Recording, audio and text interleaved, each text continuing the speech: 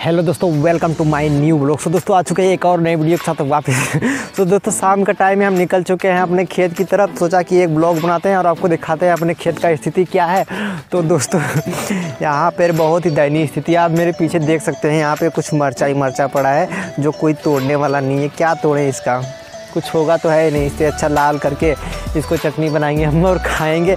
एक मैंने वीडियो में चटनी बनाया था तो बहुत लोगों को पसंद आया था तो सोचा कि फिर से आप इस बार ना मरचा की चटनी बनाते हैं और आपको दिखाते हैं कैसा लगेगा। तो दोस्तों तो दोस्तों, आप देख सकते हैं यहाँ पे कुछ हमारे खेत का मरचा ऐसा ही पड़ा है।